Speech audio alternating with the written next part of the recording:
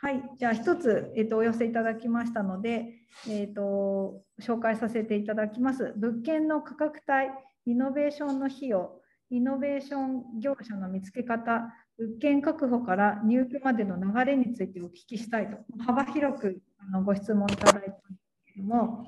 えーと、まずこれは、あじゃあ物件の価格帯なんかについては、移住サポートセンターの方からお答えさせていただこうと思います。えっ、ー、と、物件の価格帯は、え、ー、と、まあ、古い、新しい、それから規模によっても違うんですけれども、え、ー、と、賃貸であれば、アパートから、えマンション、戸建てまでいろいろありまして、安いもので2万円台のものも流通してますし、えっ、と、その上限としましては、だいたい8万円くらい、あの 4LDK で、あの、非常にきれいにリフォームしてあって、えそういった戸建てのお家ですと、まあ、マックス6から8万円っていうような感じです。で、売却の値段で言いますと、えっ、ー、と、安いもので、まあ、稀にですね、100万円とか、えー、300万円とかっていうのも出るんですけれども、まあ、ほぼ土地の値段というふうな形になります、その場合は。で、えっ、ー、と、大体ですね、500万円くらいまでの売却物件の場合は、え、かなりやり直し、まあ、建て替えですとか、そういったことを想定されるような、え、建物になっておりまして、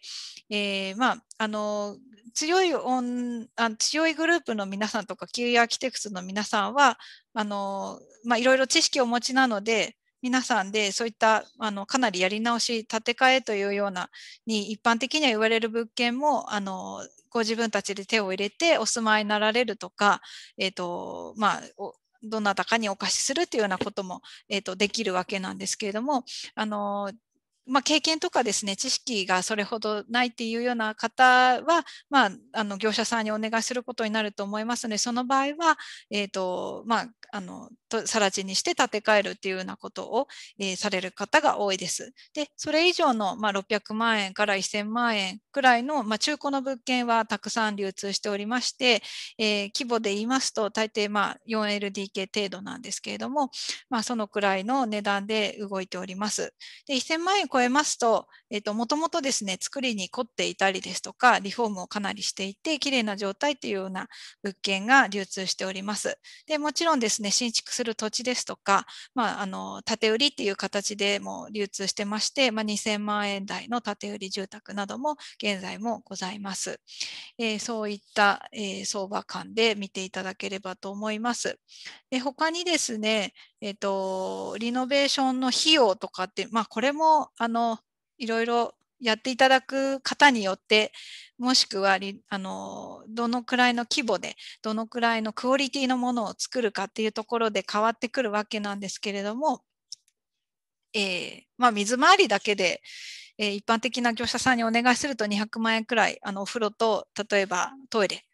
えー、キッチンまで入れるともうちょっとかかるかもしれないんですけれども、そのくらいかなと思います。で、えー、強いグループの皆さんはどんな感じで1件30万でいけるそうです。それはお風呂、トイレ、えっ、ー、と、台所。あ、そうですか。トイレは5万円くらいでも、あの、いけるそうですよ。なんで、あの、ぜひご注文をというところかった。そういうわけじゃやらないですか。はい。ですが、まあ、ご自分たちでやるとそうなるというお話のようです。はい。はい。で、えっ、ー、と、リノベーション業者の見つけ方、物件確保から入居までの流れというふうになりますと、えー、リノベーション業者の見つけ方はですね、それは、はい。強いグループの皆さんはご相談いただければということです。で、えっ、ー、と、まあ、9位の皆さんもこれからまた、あの、経験を積んでっていう形ですぐやりますか？はい。あ、資格、建築士の資格をお持ちなので、もちろんご相談に応じますということですね。はい。頼もしいですね。おあのお二方ともね。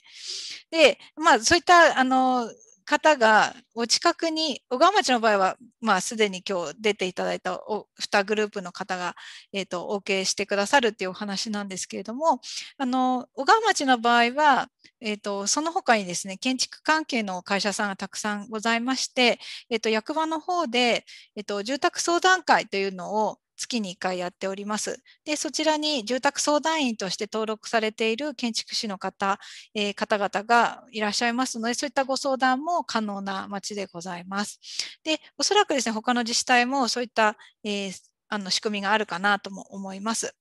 で、物件確保から入居までの流れというふうになると、えー、これはちょっとケースバイケースかなとも思うんですけれども、ご質問いただいた方にもうちょっとあの詳しくお聞きできればあのきちんとお答えできるかなと思うんですけれども、物件確保から入居まで、えー、物件の確保、まあ、購入か賃貸かっていうところでも違うとは思うんですけれども、えーとまあ、不動産業者さんですとか移住サポートセンターにご相談いただきまして、えー、契約っていう形になりましたら、まあ、購入の場合ですね、いろいろリフォームとか、えーとまあ、新築の場合、えーローンを組むっていうお話もあると思いますので、まあ、そちらの審査などは不動産業者さんを通して行っていただきます。で、えっ、と、入居まではもう引っ越し業者さんにお願いしていただいて、まあ、ご自分で引っ越しても、あの、可能な荷物の量であれば大丈夫だと思うんですけれども、そういった形で、あの、ご自分で手配いただくっていう形になります。はい。このようなお話で大丈夫でしょうか？はい。他にご質問あればぜひお願いいたします。ないかな？はい。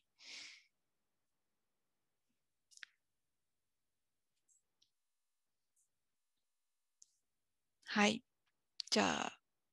皆さんからは、えっと、事務局の埼玉県の吉武さん、こちらで質問の方よろしいですか？はい。はい、あはい、そうですね。あの皆さんからもあの内容でしたら、はい、大丈夫かなと思います。はい、また、はい、もし、まあ、この後あの何かあったら、また、このセミナー終わった後でもお問い合わせいただければということで、お願いできればと思います。はい。はい、ありがとうございます。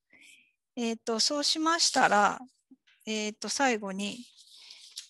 じゃあ、あの、動画のご紹介をさせていただこうと思います。えっ、ー、と、はい、ありがとうございます。はい。埼玉県さんの10秒動画とかいろいろありますけれども、そちら、はい。はい。はい、そちらはどのように？はい。お願いいたします。すね、ちょっと今日、はい、ありがとうございます。ああの私あの、埼玉県の地域政策課で移住の担当しております、吉武と申します。皆様、本日はあのお忙しいところご参加いただきまして、ありがとうございました。えー、また、あの、八田さんのゲストの皆さんも貴重なお話いただきまして、誠にありがとうございます。で、あの、八田さんからちょっとご紹介ありました、埼玉県のあの10秒動画というものがありまして、まあ、今年度、あの、プロモーションのあの動画として作成したものなんですけど、えー、まあですね、どんなものかというと、まあ、埼玉県でですね、まあ、テレワークをきっかけに、えー、移住した家族を主人公にして、で、まあ、埼玉県の良さをですね、コミカルに描いた移住プロモプロモーション動画ですね、作成いたしました。で、まあ、一番の特徴はやはりその1話につきたった10秒で構成されているという点でございまして、まあ、これを全部12話、全部で12話作成して、約半年間で順次 YouTube で公開させていただきました。でまあ、主人公がですね、あの最近ちょっとテレビとかでも出ていらっしゃるですね、あのカメラを止めるなという映画で主演を演じた浜津さんという方でございまして、またその撮影もですね、日本アカデミー賞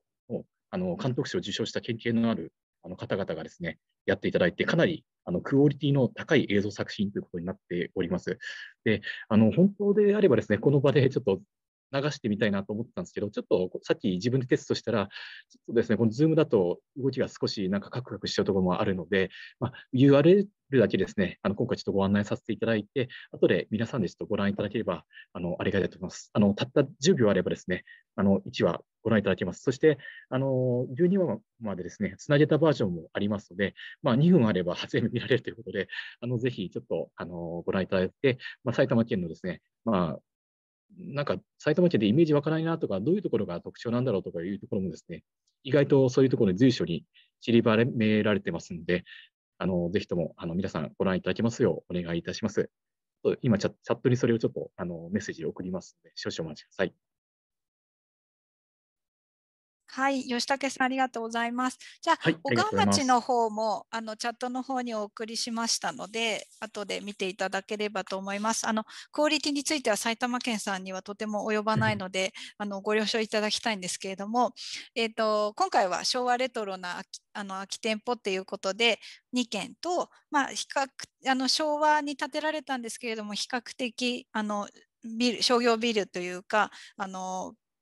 いろいろ整ってるようなあの駅前のビルの、えー、中で3店舗ご紹介をしております。ので、後ほどご覧ください。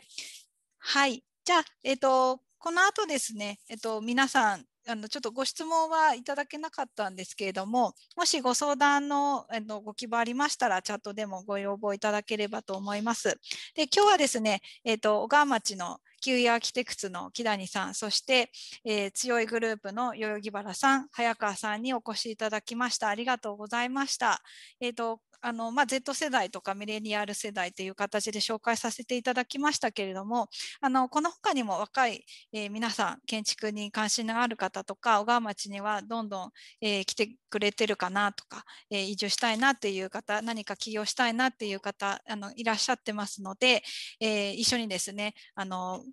いろんな中心市街地に限らずですね、町が元気になるような取り組みを、えー、移住サポートセンターも一緒にさせていただければなと思っております。はい。では、長時間にわたり皆さんありがとうございました。はい。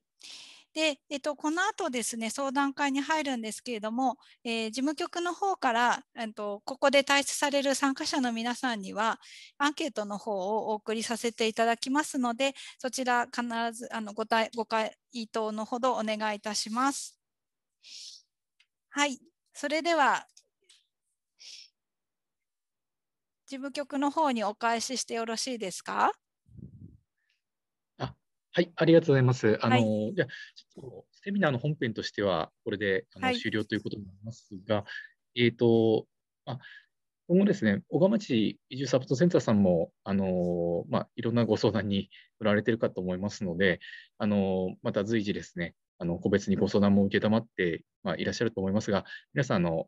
そのご疑問等があれば、また後日でもあのお問い合わせいただければと思います。で、このセミナーの部屋自体はですね、これで、あの、なんですかね、あの、使用は基本的には終わりなんですけど、個別相談にお申し込みいただいた方だけですね、この、えー、セミナールームの中で、えー、ブレイクアウトルームっていう別の小部屋みたいに作ってですね、そちらで、あの、八田さんとご相談いただけるようにいたしますので、ちょっと今これから準備をいたします。で、あの、その他の方々ですね、あの、個別相談以外の方々は、あの、こちらで、あの、終了ということでございまして、さっきあのチャットの方に、えー、